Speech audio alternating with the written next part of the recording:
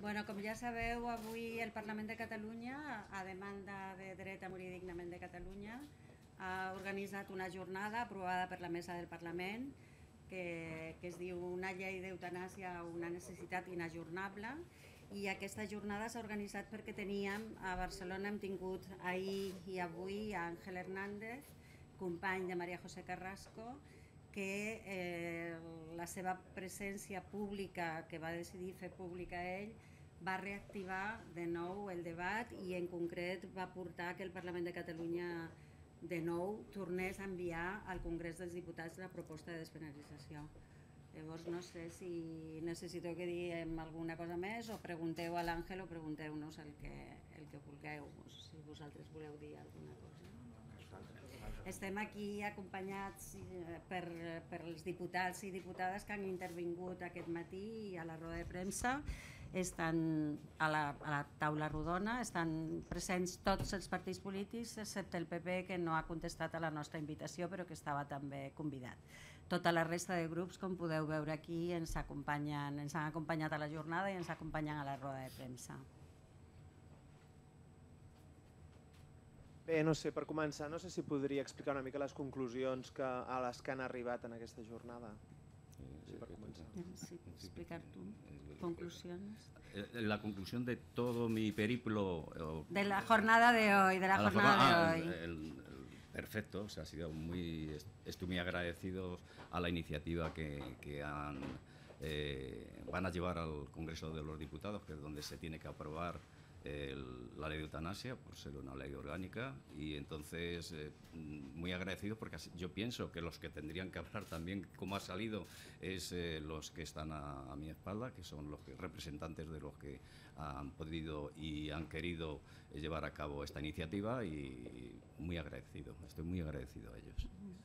Hace menos de una semana, el jueves pasado, el Parlamento de Catalunya volvió, el Parlament de Catalunya va tornar a votar, enviar al Congrés dels Diputats la, la proposta de despenalització de l'eutanàsia i en aquest cas la votació va ser 140 vots a favor, perdó, 124 vots a favor, 4 en contra i dues abstencions. És a dir, que el suport del Parlament de Catalunya a aquesta despenalització és del 98, 92%, és pràcticament total.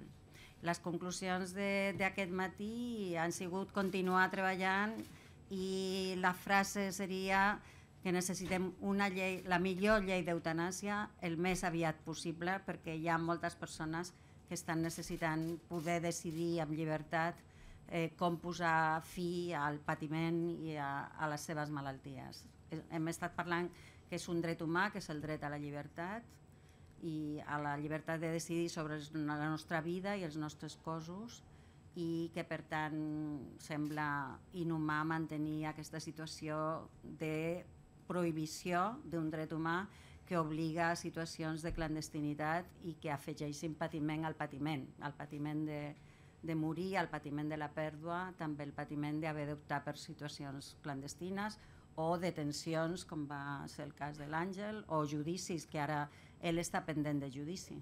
Sí, hay una cosa que está clara y es que nuestra acción, la que llevamos a cabo, tanto María José y yo, eh, les hemos descolocado las neuronas a la mayoría de, esa gente que, niega, que dice que no existe este problema y el haberlo presentado de esta forma tan descarnada eh, ha servido para que mm, se callen y que digan no, que no puedan decir que esto no existe y que la gente no sufre. O sea que para eso ha servido y en eso es- mm, yo estoy bastante contento en, en haberlo llevado a cabo.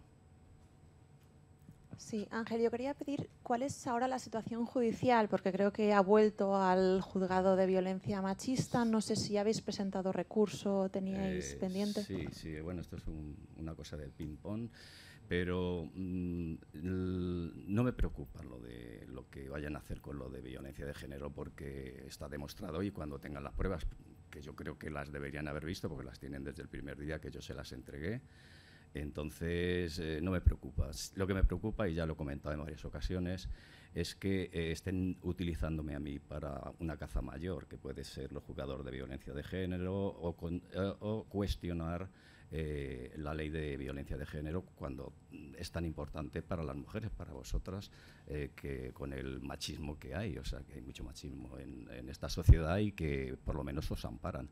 Y yo creo que hay, en eso es lo que me preocupa nada más, en lo que me pueda pasar a mí. Yo ya eso, vamos, eh, no hay que preocuparse, que no nos despisten en cuanto a eso. Se mostraba dentro en la sala confiado de que, de que en el Congreso esta vez sí pudiera salir adelante esta ley de eutanasia para despenalizar la eutanasia. No sé si podría hacernos esta reflexión. Sí, sí, efectivamente. Esta vez sí que lo creo. O sea, yo creo que no hay una vuelta atrás.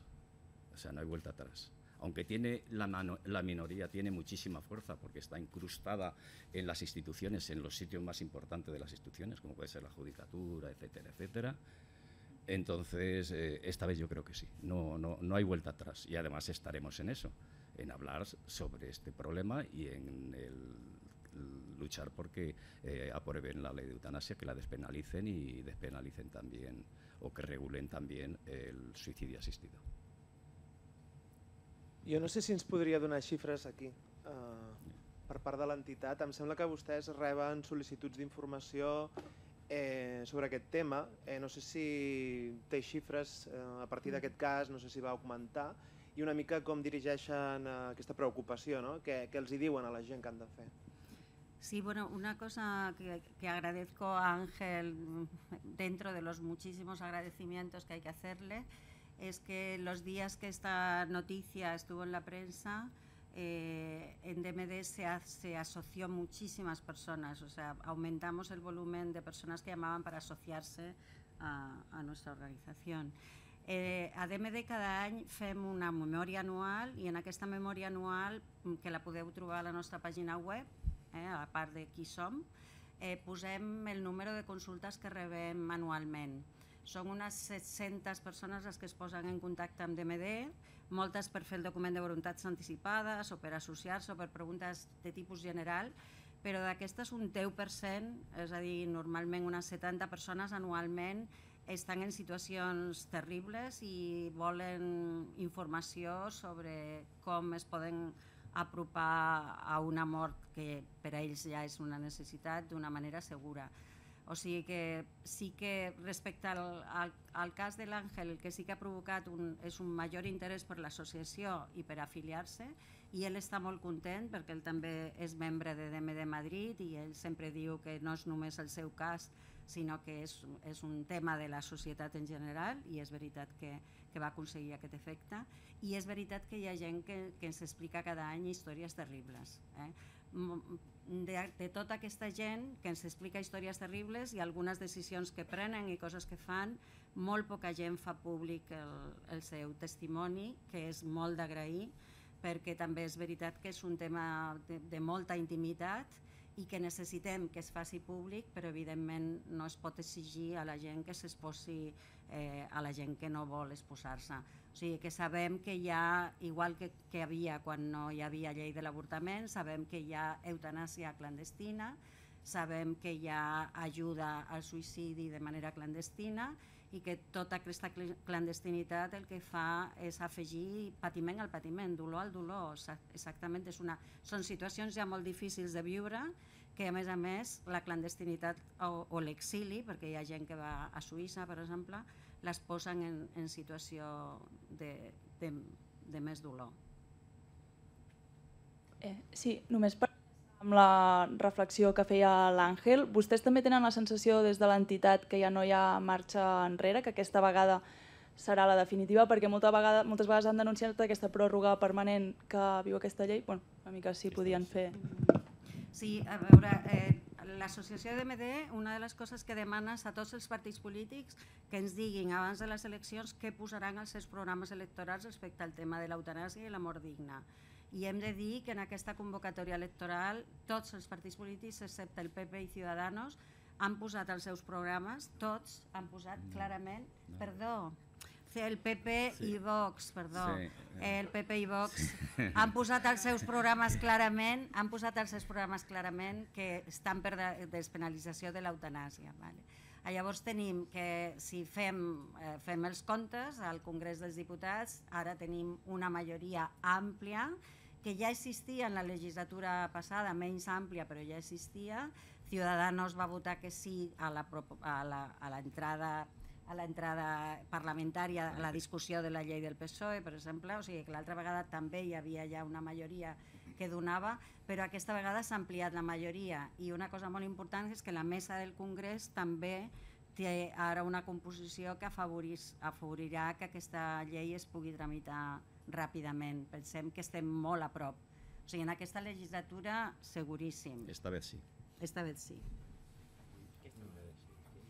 Ah, sí, i una cosa molt important que ha sortit en el moment en què estaven fent la jornada, Joan Ridau, que va ser diputat del Parlament de Catalunya quan es van presentar les primeres iniciatives i diputat al Congrés dels Diputats i que ara és lletrat de la Càmera, ens ha, ens ha dit que avui mateix ha sortit per al Congrés dels Diputats ja certificada la decisió del Parlament de Catalunya de demanar la despenalització de l'eutanàsia i enviar-la al Congrés. O sigui que avui, ja ara a partir d'ara, seguirem a la pàgina web del Congrés del Congreso eh, com va la tramitació d'aquesta proposta del Parlament de Catalunya, però segurament serà una de les primeres coses que es discutiran Eh, al Congreso. sí, tenéis un parlamento rapidísimo.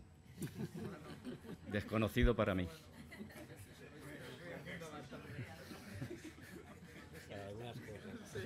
Bueno, eh, pa- yo- yo me- para esto. Sí, jo volia preguntar també eh, a qui heu trobat a faltar des de, des de, M, des de l'associació DMD, perdó, a qui heu trobat a, a faltar en la, a la jornada. Crec que heu parlat del Col·legi de Metges a dins. Eh, Quina pregunta més compromesa. No, és veritat que després m'ha recordat una de les persones que ve que el doctor Terés de la Comissió de Deontologia del Col·legi de Metges normalment ve a les activitats que organitzem. És veritat que nosaltres hem, hem contactat amb els col·legis professionals més propers per la seva temàtica, el dret a morir dignament, i que tenim signats convenis de col·laboració la nostra associació i el col·legi professional amb el Col·legi de Psicologia, amb el Col·legi d'Enfermeria, amb el Col·legi de Treball Social, amb el Col·legi d'Educadors Socials i amb el Col·legi de Pedagogs. I no hem aconseguit firmar un conveni amb el Col·legi de Metges. O sigui que és veritat que hi ha com una diferència de relació entre l'associació, però és veritat que el doctor Terés moltes vegades ve a les, a les activitats que organitza DMD. Eh?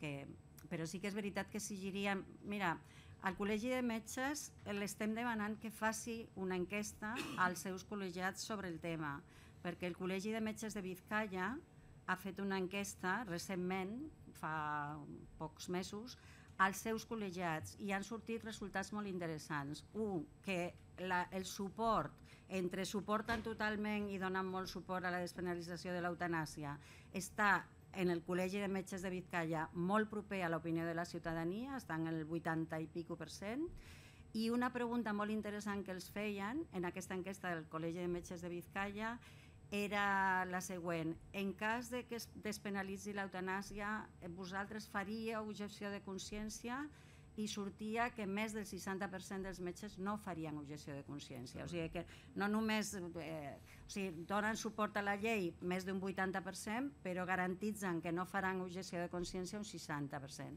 Ah, Llavors sí que estem demanant al Col·legi de Metges de Barcelona, que va fer una enquesta fa moltíssims anys, quan el cas de Ramon San Pedro, i que no l'ha tornat a fer, i sí que no aconseguim que el Col·legi de Metges faci, faça, faci, faci, faci aquesta enquesta, que seria molt important per conèixer l'opinió d'aquest col·lectiu professional. Eh, més coses importants de dir. El Col·legi de Metges de Barcelona ha tingut una postura diferent als col·legis de metges de, de Madrid, per exemple, de la resta d'Espanya, i la postura, van fer un document oficial dient que la despenalització de l'eutanàsia, la legalització de l'eutanàsia no era un tema mèdic, era un tema de la societat i dels seus representants.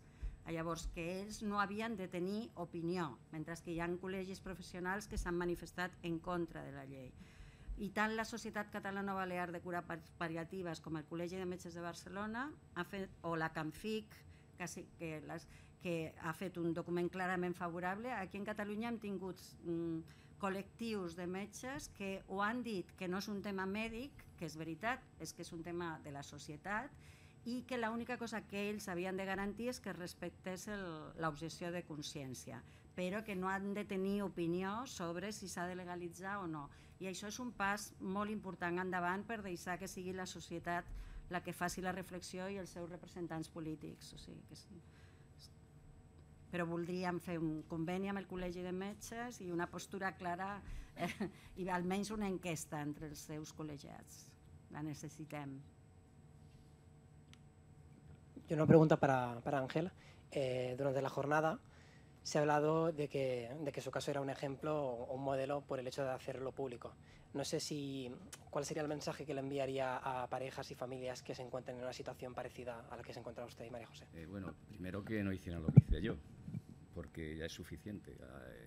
esto ha sonado en todos los sitios y no es necesario. Se hizo para que, de alguna forma, eh, movilizar conciencias, para que la gente viera que existe este problema, que hay gente que sufre y que sufre mucho y que hay que moverse para, sobre todo a los legisladores, para que legislen, para que esto eh, se pare, porque hay mucha gente que está ahí fuera y está sufriendo lo mismo que sufría María José y lo mismo que he sufrido yo. Entonces, eh, no, es que no hay más, o sea, que, que- que hablar sobre este tema, es que ya está más o menos eh, zanjado. Ahora tenemos que eh, empezar a, a que se legisle. O sea, ya nuestro problema es ahí, no quiero que lo haga la gente, eh, pero que estamos en otra fase, ya hemos pasado página de esto.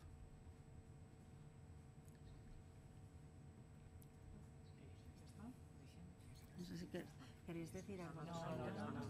Bueno, moltes gràcies pel vostre Gràcies a interès, per, per l'espera que, que heu hagut de suportar, però veig que molts heu estat a la sala esperant a nosaltres. Bueno, gràcies pel vostre interès. Muchas gracias. Adeu. Sí.